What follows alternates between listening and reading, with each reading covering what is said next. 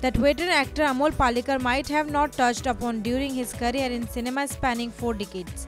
However, in his own words, his versatility and exploits are not limited to the camera alone. A renowned artist in more than one sense of the word, Amol Palekar was seen displaying his paintings. बहुत कम लोग जानते हैं कि मैं चित्रकार भी हूँ हालांकि ये कहना उचित होगा ज़्यादा सही होगा कि मैं पहले, सबसे पहले चित्रकार रहा हूँ। काश मैं इतनी सुंदर होती, बहुत अच्छा बनाया उन्होंने और मुझे पता था कि ये पेंटिंग करते हैं, लेकिन ये बिंदिया ने सजेस्ट किया उनको।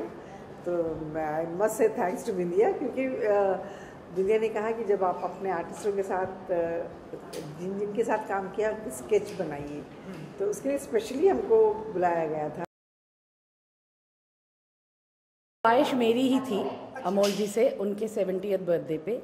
आई हैड सजेस्टेड कि, सर, ये तो सही नहीं है कि आप पेंटिंग्स बनाओगे और अपने हीरोइंस की स्केचेस नहीं बनाई आपने आज तक। तो उन्होंने मुझे सीरियसली लिया। इस बात की खुशी है मुझे। और आज हमें यहाँ इनवाइट किया है अपने एग्जीबिशन पर। Powered by N